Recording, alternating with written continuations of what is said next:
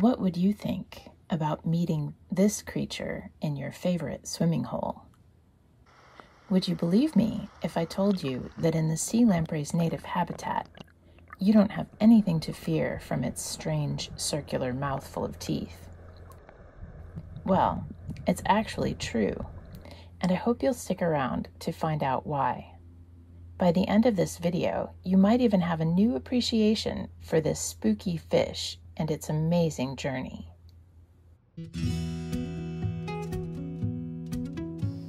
If you're already familiar with sea lampreys, you might be thinking that they're invasive in places like the Great Lakes and Lake Champlain. And that's true, but our story begins here. In the tributaries of the Connecticut River, where the spawning adult lampreys look for the perfect spot with fist sized rocks on top of smaller gravel. They move their rocks with their mouths to build a nest that will protect their eggs from getting swept away by the current. Then, the eggs are laid by the thousands to increase the odds that a few of them might grow up and make it back here someday. I don't have my microphone with me today because I didn't want it to get wet so I hope you can hear me. I'm super excited that I found some lampreys making nests in the river. You can see that the rocks right under the lampreys have been hollowed out and those rocks have no algae on them. They're nice and clean, which is how you can spot the nests. I don't know if these lampreys are still alive or not, they don't seem to be moving much, but they're still stuck there in the nest, so I'm guessing they might still be alive. I'm not going to disturb them to find out, but I do want to stick the camera underwater and take a look at them from that angle.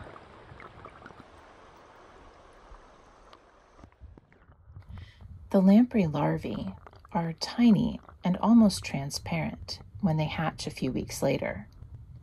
Then the river sweeps them away, and they settle into a muddier part of the river bottom, where they'll spend the next few years hiding in a burrow, sticking their heads out to filter feed on plankton. When they grow large enough, the larvae transform into juvenile lampreys with little sucker mouths, which they use to hitch a ride on a larger fish all the way to the ocean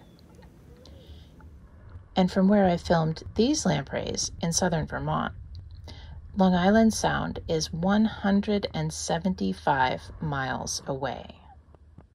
When they finally get there, the juveniles will use their sucker mouths to feed as parasites on larger fish.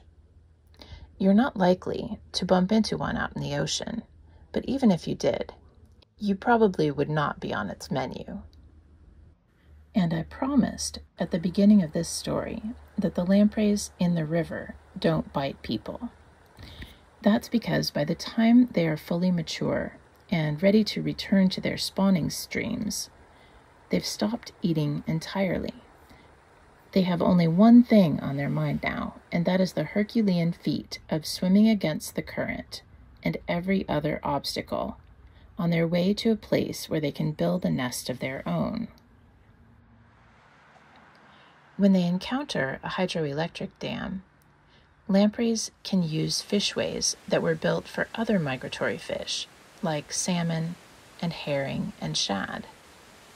But they're not strong swimmers, and only a fraction of lampreys manage to make it through each dam. This year, Charles and I tried to catch a glimpse of the lamprey coming through every fishway we could find at this hydro dam in southern Massachusetts, there's not just a fish ladder, there's also a fish lift. It hoists giant buckets full of water and fish up and over the obstacle. When we visited in early May, this bucket was full of shad.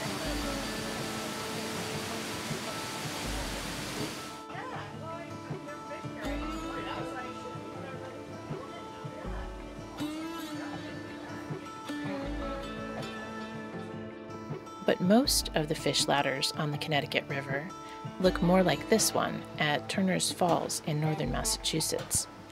It's a vertical slot fishway, which is basically a ramp divided into cubicles with water flowing through the doorways. It's not easy for the fish to swim through the doorways with the water coming at them so forcefully. But they're actually attracted to the current because their goal is to make it upstream to reach their spawning habitat. By the time migrating fish reach the Vernon Hydro Dam between southern Vermont and New Hampshire, the fish counts are lower because many have already found their ways into tributaries further south. The public viewing area at this location is honestly not very exciting, but we visited during a special event in June when the local community was invited to view the counting room inside.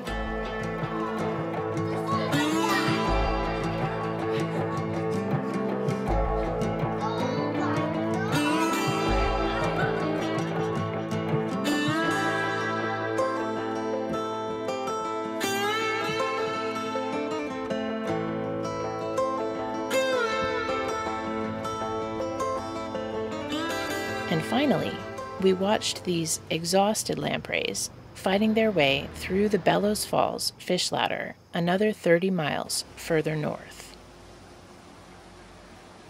So I think it's fair to say that the lampreys who made it all the way up here to Vermont are the equivalent of Olympic athletes. And we were definitely rooting for them when we watched them work so hard to produce another generation at the end of their own lives. We were saddened a few weeks later when their nests were washed away by historic flooding. I'm standing at the spot where we saw the lampreys spawning a few weeks ago. And I'm thinking this was not a good year to be a spawning lamprey. There's a chance that some of the larvae may have hatched and buried themselves, but we're hoping that next year will be a better one for our slithery neighbors. And we're also hoping that in the future, you might be rooting for them too.